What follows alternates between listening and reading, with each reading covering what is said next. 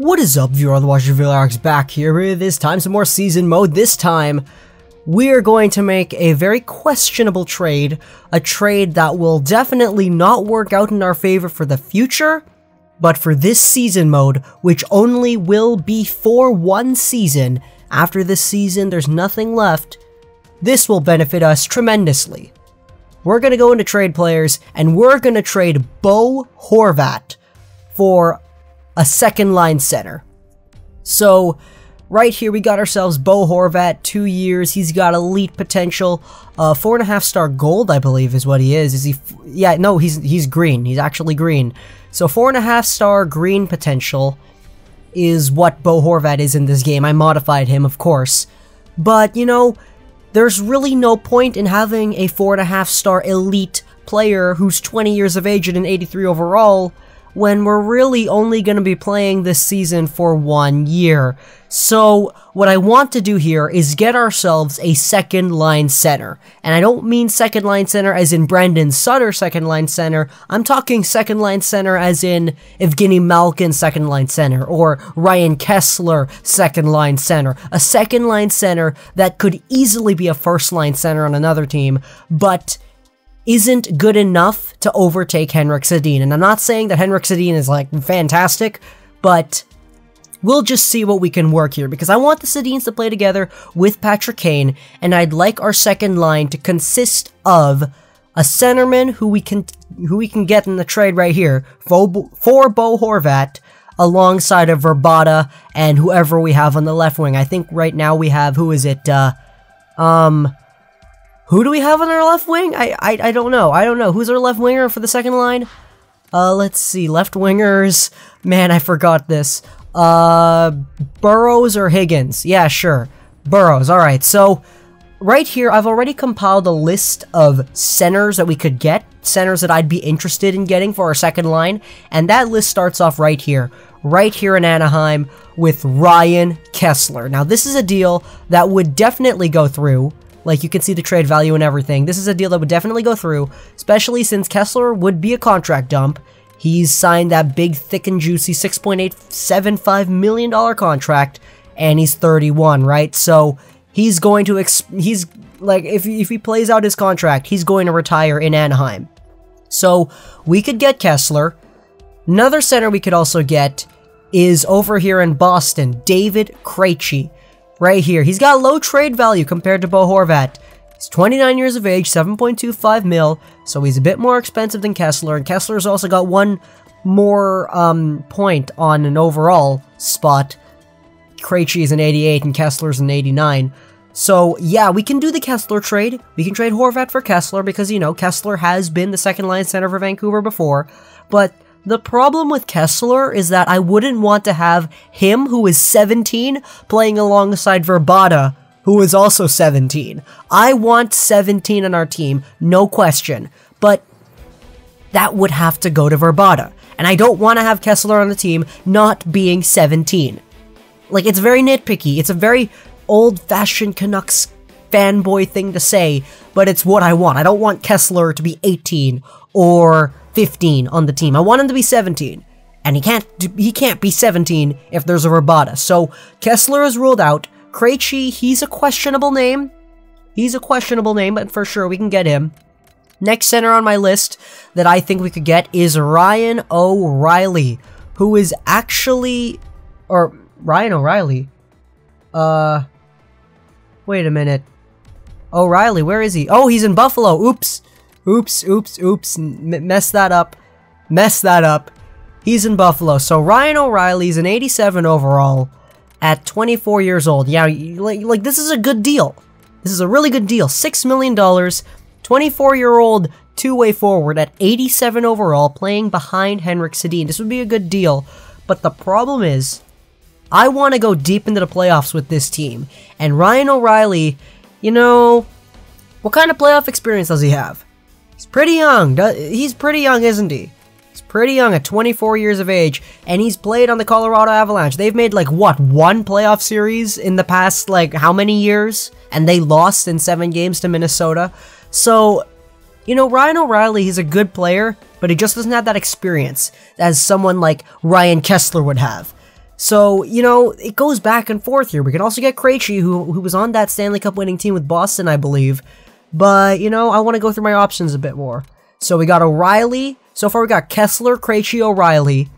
And we can go to Calgary over here. We can we can see that there's a Sean Monahan available. 87 overall, 21 years of age, still on entry-level deal.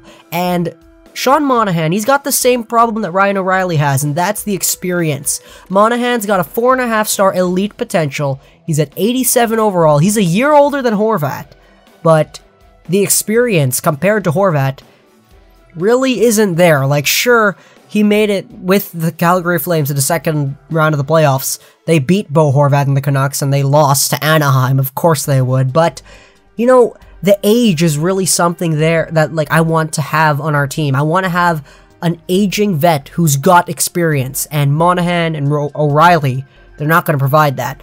So the problem so far, Kesler, he is he's 17, and I don't want to have 17 playing alongside Vrbata, who was 17, or having Kesler being a 15. So that's that's gone. Kesler's gone. Krejci, he's an eh he's really an eh. I, I can't find anything wrong with Krejci, to be honest, other than the fact that, like, you know, well, this actually would make sense because he's a playmaker.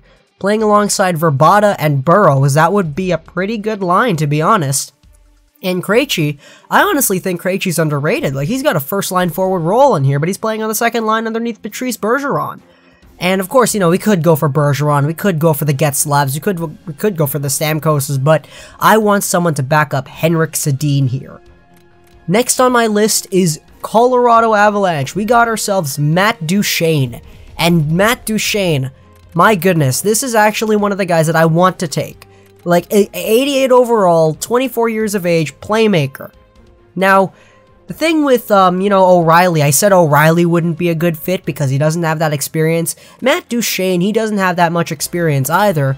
But, you know, he's a playmaker, and he, at $6 million, that's pretty good. Puck skills are at, he's got 88 passing, which I, re- I would really like playing alongside of Vrbata. Obviously, Matt Duchene, I'm biased towards Matt Duchene. I want Matt Duchene, but there are a few more names on here that I would like to get. One of them right here in Florida, Nick Bjugstad. Now, Bjugstad, 87 overall, 23. Like, he's a two-way forward, so that's a bit of a step down from a playmaker, I guess, because we got ourselves Vrbata on that line, and we also got Burrows, who I believe is a two-way forward as well. So, I don't, I, I kind of want a playmaker, so I guess we could rule out Bjugstad for now. Next name on my list is from the Montreal Canadiens, and that is Alex Galchenyuk. Now, he's an 85 overall. Yeah, an 85 overall playmaker, 21 years of age. This guy would be a good fit, but I just don't see it being the best trade ever. Like, Galchenyuk is a player of, a, of the future. He's a good player right now, but he is definitely a player of the future. Drafted like, what, third overall? Like, Galchenyuk is set for the future and not for right now. And, like, you know, Montreal has had some very good playoff runs, but Galchenyuk, he's still, he's still 21. He's only at a $3 million contract right now. Just imagine, in like two years, he's gonna be signing like a 5, $6 million deal. Just you wait. If his development um, increases as it has been. So, um, Galchenyuk, most likely not. Next on our list, we got ourselves Kyle Turris from the Ottawa Senators. And this guy, this guy's a bit older. He's 26, 88 overall. He's a playmaker as well. And he's cheap. $3.5 million, an 88 overall playmaker. Now, this is somebody that I would like playing behind Henrik Sedin. Him and probably Matt Duchene, maybe Duchene, I don't know. Duchene's got a little less experience than Kyle Turris has, but you gotta be wary though, because Kyle Turris, although he's a good player, he's an elite player, he doesn't really have that experience in the playoffs. Like, look at Ottawa. They made the conference finals one year. What was that, like 2012, I believe? Was it 2012? I don't know. And then they lost in the first round to uh, Montreal. They almost. I, I was pulling for them to pull off the reverse sweep, but right here, the best center for our team that would be a second line center playing alongside Burrows and Vrbata, I'd say it would be a playmaker. I want a playmaker. So Kyle Turris or Matt Duchene.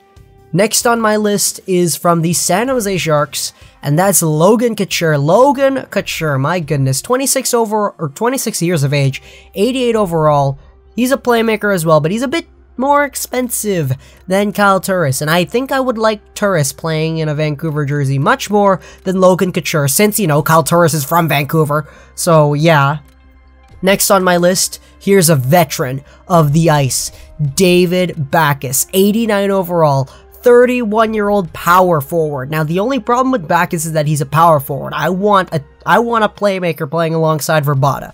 We could get ourselves a Paul Stastny, you know, he's a, he's $7 million contract, 87 overall, but let's face it, I think Paul Stastny is overrated, so we're to skip over his name.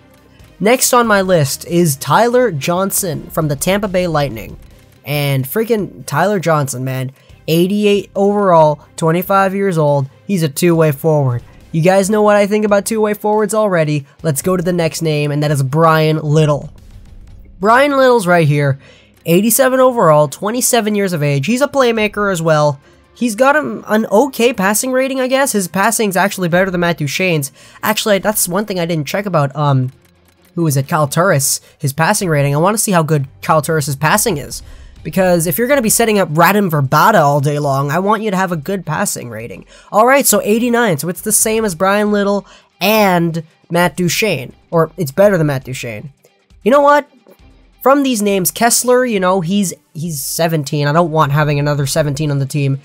And Krejci, I can't see any problems with Krejci other than I don't think he's a playmaker. O'Reilly doesn't have that much experience. Monahan doesn't have that experience. Neither does Duchene, Bjugstad, Galchenyuk. Kyle Turris is a maybe. You could say that Kyle Turris doesn't have any experience, but he's been in the league for a while, and he's a Vancouver boy. Um, let's look at our next name, Couture. I do not like the Sharks.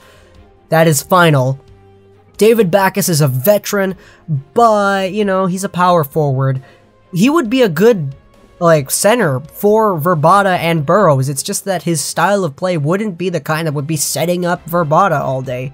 Tyler Johnson is pretty good, and Little is really good too, but I think the best bet would be to trade Bo Horvat, our star of the future fourth line center, for Kyle Turris. Will it go through? Yes, it will. Go to roster moves. All right. I uh, look. I knew this whole time that I was gonna get um, Kyle Turris or Matt Duchene. It was one of those two that I wanted, and you know, I just wasted your whole. I just wasted your time. I just wasted your time. Oh wait, no. Bo Horvat was our. He was our third line center. Oops. I wasted your time. Just like you know, just baiting you in with a whole bunch of trash talk.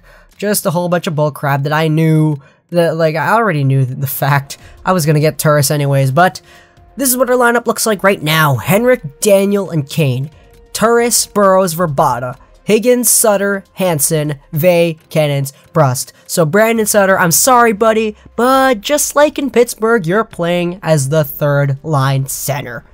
Hope you guys enjoyed this video. Sure, Boston, to download your shows, like, and also subscribe. Know on gaming. Next game of the season is against the Edmonton Oilers, and bye.